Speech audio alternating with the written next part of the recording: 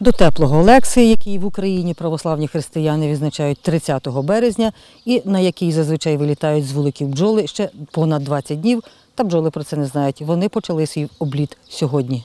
Озима пшениця за температури майже 15 градусів тепла теж почала активну вегетацію. Рослини, каже агроном господарства села Ладиги Старокостянтинівського району, в доброму стані. Та триватиме це недовго, якщо не буде дощів, каже агроном. Її хватає опадів. Цих 25 сантиметрів, який промочений ґрунт, її хватить на перших порах. Ну а на дачі на вегетацію треба дощів. Буде недобір врожаю, не буде розкущення такого, як треба. В травні місяці, коли вже можуть бути високі аномальні температури, це трохи погано для розвитку самої рослини.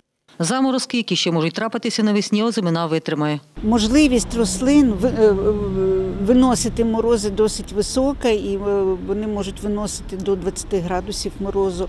Озимину підживили, як і багаторічні трави, на площах під цукровим буряком вносять після органічних мінеральні добрива. Водночас готують поля для сівби ярих зернових. Опадів цієї зими і на початку весни було настільки мало, що земля промокла замість метра на 25-30 сантиметрів у глибину. Тому у цьому господарстві квапляться закрити вологу за два дні. Без вологи насіння не проростатиме. Сподіватися на рясні дощі, каже агроном, цієї весни не доводиться. Закрити вологу це саме, саме головне, ту вологу, яка є зараз в землі, яка за, за зиму трошки накопилася. Шестеро трактористів на трьох тракторах працюють цілодобово. Інженер кооперативу каже, це звичайна практика для гарячої пори.